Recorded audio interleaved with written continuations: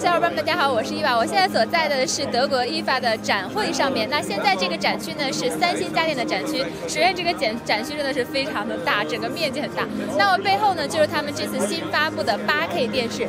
我们都知道 8K 电视其实这个真正的真 8K 现在还是比较少的。那目前呢，三星也是发布了这款能够实际看到 8K 显示效果的。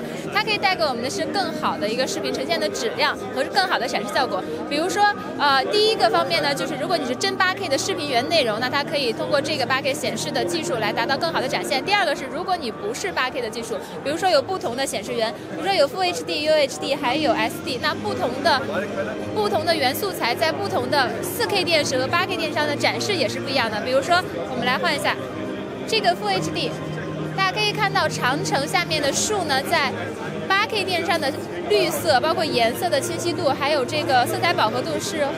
肉眼所见是能明显看出比 4K 电视的要更加精细一些。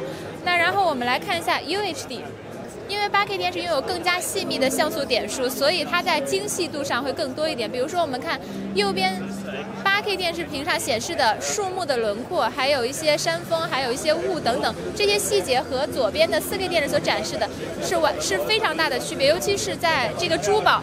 这个珠宝在 8K 电视上是亮度上、晶莹度上，就是显得更加璀璨一些。但是在 4K 上面，相比来说就没有那么多的，呃，就是在亮度上和精细度上没有那么好。